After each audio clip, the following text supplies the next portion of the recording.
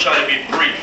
The sister mentioned something about death, and I know that that word makes a lot of people uncomfortable, especially recently since I've been talking to people. I've been bringing that word out a lot, and some people have been shying back from that word. They don't want to associate with that. I understand that because it's the ultimate challenge of mankind is to face that destiny which he cannot escape. But you must understand that when I speak about death, I'm only saying that so that you will take life serious. Because we usually do not take life serious until we first think about that grave. And I constantly think about it all the time. Number two, you have to remember that life is a struggle. It began with the struggle between the sperm and the egg.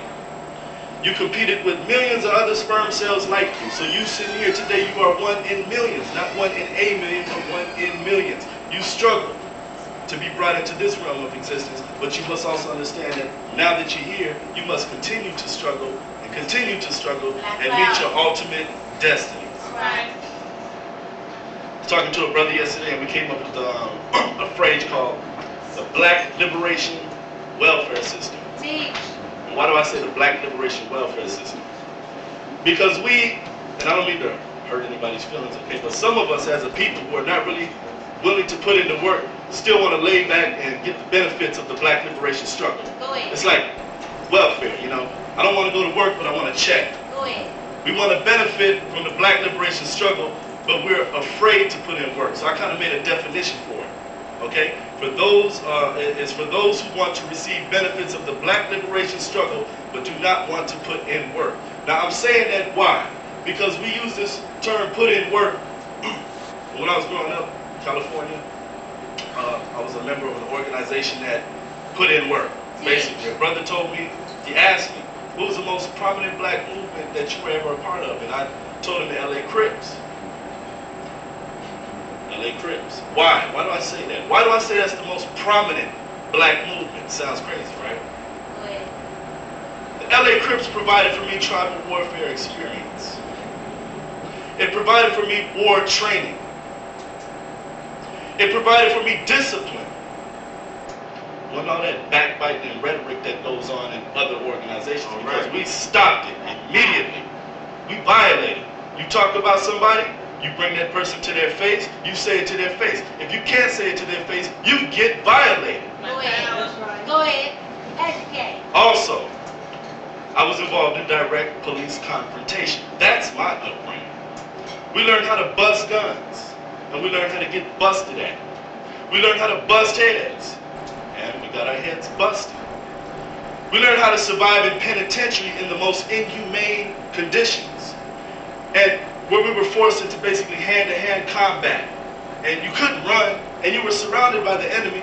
You couldn't get a gun, but you were dealing with the pig who had a gun. That's why I said you got to recognize that. Not all prominent black movements are bourgeois Negro movements, excuse my expression, don't mean to offend anybody.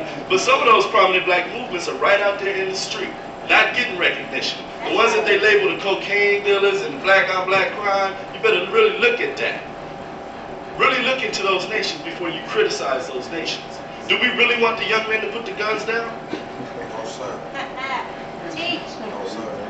Don't turn them in for a hundred dollars to the police. Damn power Okay. Don't turn them in. Yesterday, the media was approaching me quite often, asking, what's your name? And You said, this one, what's your name? Then I write your name. I said, point seven. That's an alias I said I would use eventually. It's point seven. Why do I use point seven? Who knows point seven? I lie. Who knows point seven? Black Panthers. It's harassment.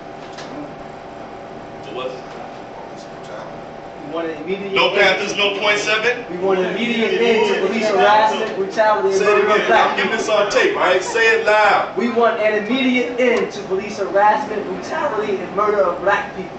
We want an end to black-on-black violence, snitching, cooperation, and collaboration with the oppressors. All right.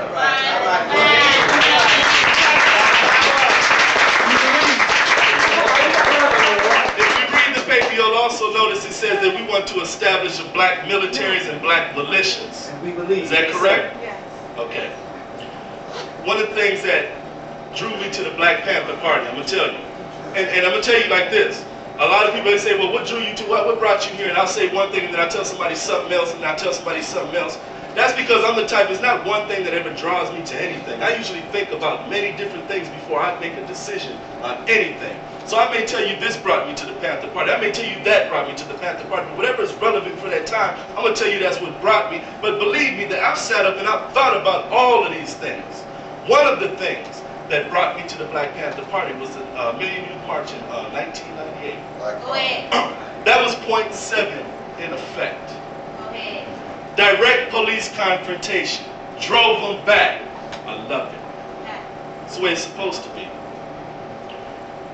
You ever heard that term, the white man has a God complex? Oh yeah. Anybody ever heard that? Last poets? Oh yeah. Says the white man has erected an image as that of God and he bids you to idolatry. The prophet Abraham, alayhi salam, he broke idols erected uh, by heathens. That was his mission. That's what he did. They threatened to put him in the fire and all this, but he busted up the idols of the heathens that ruled in his society. Now understand, we say the white man has a God complex. This is an idol that's been lifted up in the society. Jesus salam said that he was a follower of Abraham and he confronted the apostasies of the Jews. I'm going to be brief, okay? I know for time's sake. The Jewish controlled white man is constantly putting out threats of a godlike judgment. From 8:30 a.m. to 3 p.m. on television, on the airwaves, uh, the images of judgment and the illusionary supreme authority, so-called supreme authority of the judicial system bombards your home in this way. I made a list. 8:30, Judge Hatchett. 9 a.m., Judge Joe Brown, Judge Mathis, L.A. Law, trial coverage, NYPD Blue. 9:30, Judge Judy. 10 a.m., People's Court, Divorce Court, Curtis Court. 10:30, Diver- Divorce Court, Judge Hatchett, Judge Mills Lane. 11 o'clock, Judge Joe Brown, People's Court, Curtis Court, Oh, yeah. Power of Attorney. We ain't Run it off, run it off. 11:30, Judge Joe Brown, Curtis Court, Power of Attorney, Go ahead. Sex Wars. 12 o'clock, Judge Joe Hat- Hatchett, Jerry Springer, Night Court, and Curtis Court, 12:30. Arrest and trial, 12:30. Judge Mills Lane, 12:30. 1 p.m. Judge Mathis. 2 p.m. Power of Attorney, Curtis Court, Moral Court. 2:30, Curtis Court, Power of Attorney. 3 p.m. Jerry Springer, L.A. Law. Go check the TV guide. You ain't telling no lie. And I'm not talking about in different cities around. I'm talking about right here in D.C. It's all over the country, bro. Now, you have to ask yourself, why are you looking at so much court TV? And why is it in the time frame when most men should be at work? Go ahead. Good Go point. Good point. How many times have you seen black people get beat down and executed by the Antichrist regime on shows like Cops and LAPD? I saw a show last night, and it was a video show, it was funny videos, and it was cops, but it was cops with a laugh track. In other words, they went and they executed the brother, boom, boom, boom, killed him in the car, and they laughed and they told the guy to the about the guy, what an idiot, taking hostages and stuff like that. See, the reason I bring these out is to wake you up. You got to know what time it is. The Jews put a lot of effort into making people now laugh at your death situation. See, before it was Right. exciting, bad boys, Good check point. that out, look at the police. Now, you laugh at it, and they make commentary on it. Idiot. At this uh, demonstration that we did yesterday, when they showed somebody getting beat down by the police, right? They didn't show the police turn and run. They didn't show the police turn and run. But we know that that did happen, okay? That's right. We also know that they did show the CIA and the Secret Service and President Bush in the street like this, but when he came by our area, they were Hold running. on. That's right. Check All right. that out. Good point. Go boy. We'll talk about this later. Black Power. I